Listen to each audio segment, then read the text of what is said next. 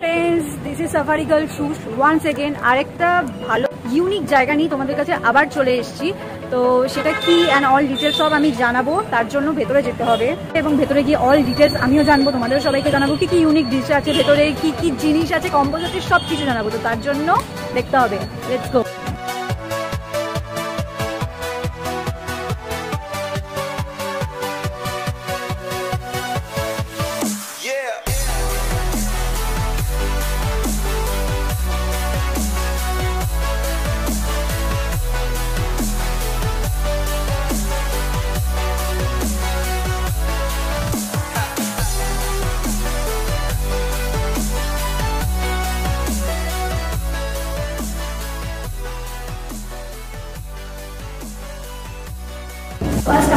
আমরা আজকে এসে আমাদের ফার্স্ট যে ডিশটা অর্ডার করেছিলাম।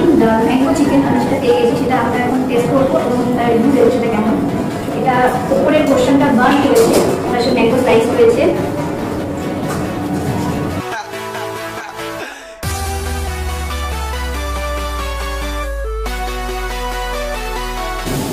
বেশ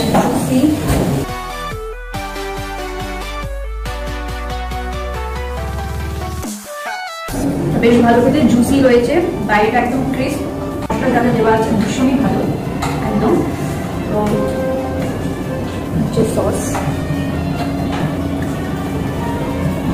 আবার আমার ফুড রিভিউ যে দেবে আমি সাথে করে তাকে নিয়েছি তো দেখে কি রিভিউ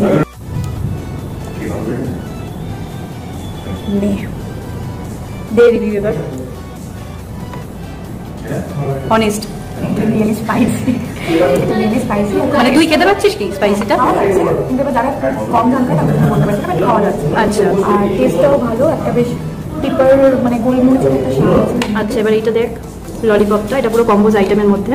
এটা রয়েছে কি কি একটু বলে দে এটা স্পাইসি চিকেন চিকেন ললিপপ এটা দু পিস মোমো আর এক চিকেন ফ্রাইড রাইস ঠিক আছে। কামড় দে বস একটা হালকা করে।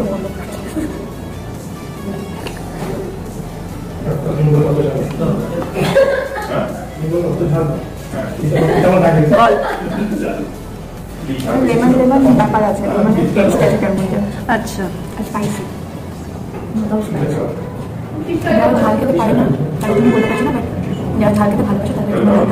আচ্ছা মোমোটা রান্না করে চিকেনের মতো টেস্ট সেমই হয় তাও দেখ। বলো। আচ্ছা এখানে একজন আচ্ছা চামচ রেখে পুরোটা হাত দিয়ে এই যে আমাদের রিভিউ দিচ্ছে রিভিউ মাসি। আজকে পিঙ্ক সল্টে তো খেলাম। এবার এখানে আমি যেই ডিশগুলো খেলাম, সেটা ছাড়াও আরও অনেক ভ্যারাইটিস আছে। অনেক রকমের ইউনিক ডিশেসও রয়েছে এখানে। তো সব কিছু তো আমি বলতে পারলাম না। তো ডেফিনেটলি তোমাদেরও জানাতে হবে এবং কম্বোজ কি আছে সেগুলোও তোমাদের জানাতে হবে। সেগুলো আমার থেকে বেটার এখানে যিনি ওনার আছেন, তার থেকে জেনে নেওয়া আমার মনে হয় সব থেকে বেশি ওটা বেস্ট হবে। তো আমি তার থেকেই জেনে নিচ্ছি। স্যার নমস্কার। হ্যাঁ তো আজকে তো খেলাম পিঙ্ক সল্টে সত্যি ম্যাঙ্গো চিকেনটা অসাম ছিল মানে টেস্ট ওয়াইজ ভেতরে ম্যাঙ্গোর একটা পাল্প ছিল সেটাও সত্যি ভালো ছিল। তো এইরকমই কি আরও ইউনিক ইউনিক মানে কি কি ডিশেস আছে যেগুলো মানে আমার ভিউয়ার্সরা আসলে বা কেউ যদি আসে এখানে নতুন যে তারা ট্রাই করতে পারবে এমন কি কি নিউ নিউ এরকম রয়েছে ইউনিক আইটেম আমাদের মানে দাপিং সল্টের স্পেশালিটি হচ্ছে আমাদের appetizers combo combination options for combo R dessert মধ্যে খুব ইউনিক ইউনিক কিছু চয়েসেস আছে। এবার অ্যাপেটাইজারে অল টাইম হাই সেলার বা বেস্ট সেলার হচ্ছে live one chicken southern style live wrap fish you and me বলে একটা আইটেম আছে, ওটা সত্যি খুব ভালো ফিডব্যাক অ্যান্ড খুব বিক্রি হয়। অ্যান্ড যারাই খায় তারা রিপিট অর্ডার করে। ইউ অ্যান্ড মি বলে একটা একটা মাছ আর চিকেনের একটা আইটেম মিশ্রণ করে।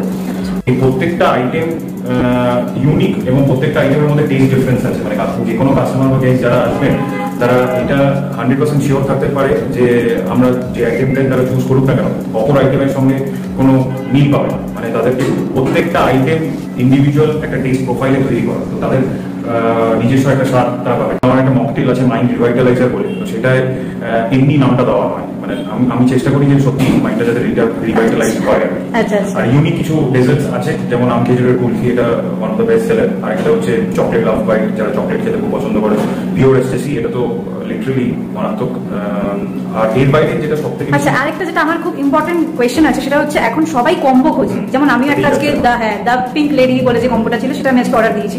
তো এরকম কম্বো আপনাদের এখানে স্টার্টিং কত থেকে? দুশো পনেরো বর্তমানে দুশো পনেরো। এটা এরকম এটা কি ভেজ নন ভেজ বোধ না হচ্ছে ওয়ান নাইনটি ফাইভ থেকে। আচ্ছা। ওয়ান নাইনটি ফাইভ থেকে ভেজ স্টার্টিং আর এগুলো সব সিঙ্গেল সার্ভিং নন শেয়ারেবল তবে তবে একজনের জন্য I believe more than enough মানে আমি বেস্ট অন অবজারভেশন আর ফিডব্যাক বলছি। আচ্ছা। দুশো পনেরো থেকে নন ভেজ কম্বো স্টার্ট হয়। বেস্ট ক্যাম্পাস যেটা স্টুডেন্টদেরকে মাথায় রেখে দ্য পিঙ্ক লেডি অফ যায় আর একটা ইন্ডিয়ান হচ্ছে দ্য সিম্পল কম্বো বলে। এতে কাস্টমাররা চয়েস পাবে চিকেন অথবা মাটন তারপরে ইভেন্চুয়ালি আইটেমও যত বাড়ে ভ্যারাইটি যত বাড়ে তত প্রাইসও বাড়ে।